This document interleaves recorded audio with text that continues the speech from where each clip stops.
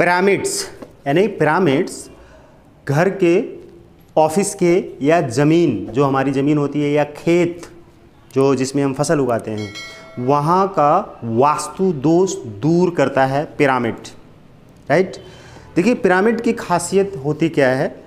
ये जो टिप है, इस टिप पर कॉस्मिक एनर्जी कनेक्ट होती है और इस पिरामिड के पावर के हिसाब से दूरी तक जहाँ भी रखेंगे, उतनी दूरी तक वो एनर्जी फैलाएगा।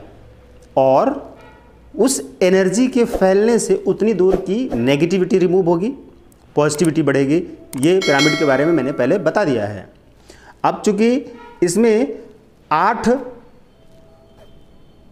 खांचे होते हैं, यानी कि इस तरह से one, two, three, four, five, six, seven, eight. अब ये जो पिरामिड बना हुआ है, यहाँ पे ये जो बना हुआ है, देखिए वन टू थ्री फोर इस तरह से अनेकों यहाँ पे सेब बने हुए हैं। ये सेब यानी कि पिरामिड के सेब हैं। जब इतने पिरामिड के सेब बन जाते हैं, यहाँ भी इसी तरह से पिरामिड के सेब बने हुए हैं ये। ये सब इस पिरामिड की पावर को कई गुना बढ़ा देते हैं। अब जब हम पीछे जाते हैं, अब यहाँ भी देखिए पिरामिड पहले आगे देख लीजिए। तीन पिरामिड यहाँ बने, इनमें भी इस तरह के खांचे बने हुए हैं। ये ये सब साइंटिफिक तरीके से भी बनाया जाता है।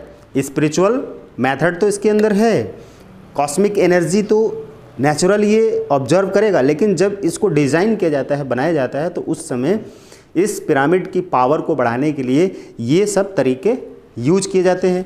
पीछे देखिए, ये जो आपका पॉइंट बना हुआ है, बिल्कुल राउंड में ध्यान से देखिए। जो सर्किल बना हुआ है, ये हमारे पिरामिड की पिरामिड पावर को और कई गुना बढ़ा देते हैं। अब चूँकि ये गोल्डन पिरामिड है, इसके पहले हमने वाइट पिरामिड के बारे में बताया था। अब ये गोल्डन पिरामिड है। गोल्डन पिरामिड की पावर वाइट पिरामिड की पावर से ज़्यादा होती है। क्यों होती है कि वाइट कलर जो यूनिवर्स में है, वो वाइट पिरामिड यूज़ करता है, यानी कि ऑब्ज़र्व करता है और फैलाता है चूँकि ये अपने आप में बहुत पावरफुल है। बट जो गोल्डन एनर्जी है गोल्डन कलर है यूनिवर्स का, वो कलर उससे भी ज़्यादा पावरफुल होता है क्योंकि यूनिवर्स में अनलिमिटेड कलर है। आप जितने भी कलर बनाना चाहें, बन जाएगा। लिमिटेड नहीं है अनलिमिटेड है। और उसी तरह से हमारे बॉडी के अंदर भी अनलिमिटेड चक्रा हैं। लेकिन यूनिवर्स में जो सेवन कलर हम कैच करते हैं, सेवन कलर से हम अपने काम करते हैं। और हमारे बॉडी के अंदर जो सेवन चक्रा है, crown chakra, third eye chakra throat chakra, heart chakra, solar plexus, sacral chakra and base of the spine जो टेल बोन का पॉइंट होता है, उसके पॉइंट पर हमारा रूट चक्रा होता है। इन सारे सातों चक्रों के कलर अलग अलग होते हैं। जैसे रूट चक्रा का रेड कलर सैक्रल चक्रा का ऑरेंज कलर सोलर प्लेक्सेस का येलो कलर हार्ट चक्रा का ग्रीन कलर थ्रोट चक्रा का ब्लू कलर और इसका इंडिगो कलर थर्ड आई का इंडिगो कलर एंड इसका हमारा जो क्राउन चक्रा होता है, इसका बैंगनी जिसको कहते हैं हम, ठीक है? यानी कि जामुनी कलर जिसको हम वॉयलेट कलर कहते हैं, जामुनी कलर वॉयलेट कलर और ये हमारा हो गया बैंगनी कलर, ये बैंगनी कलर ये हुआ, ठीक? बैंगनी इन द सेंस कि स्काई ब्लू जिसे हम थर्ड आई पे रखते हैं।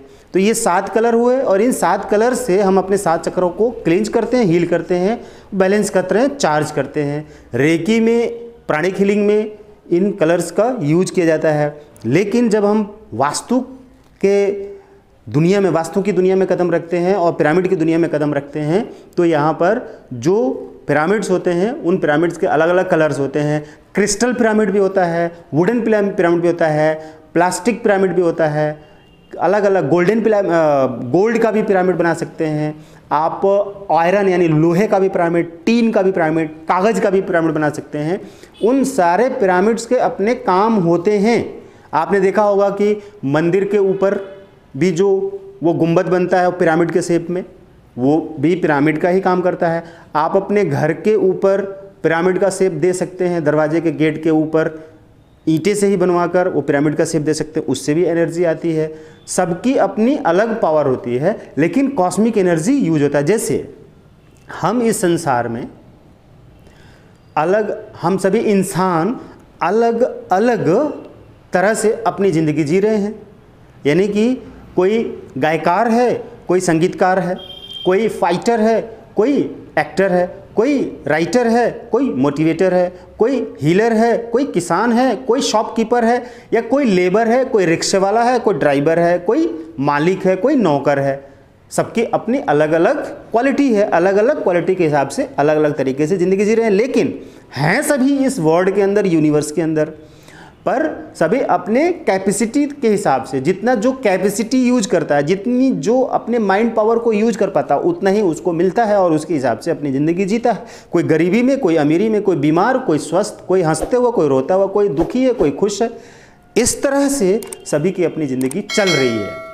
अब पिरामिड्स भी इसी दुनिया का एक पार्ट है और इसमें भी जो कलर्स अलग अलग हैं और जो अलग अलग मेटल पे बने होते हैं, वो अलग अलग मेटल के अलग अलग क्वालिटी होती है। तो मैंने इस पिरामिड के बारे में इस तरह से आपको डिटेल बताई।